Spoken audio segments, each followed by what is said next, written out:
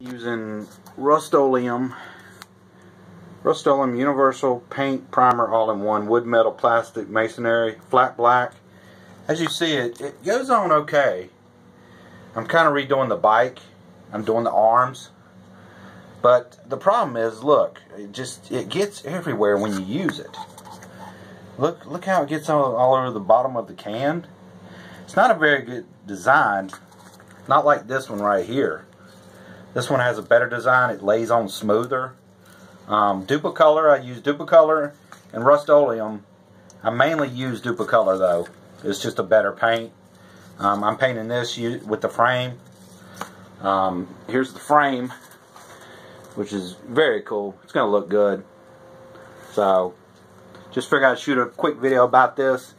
This review. It's okay if you want to use it. The can sucks, but it's up to you.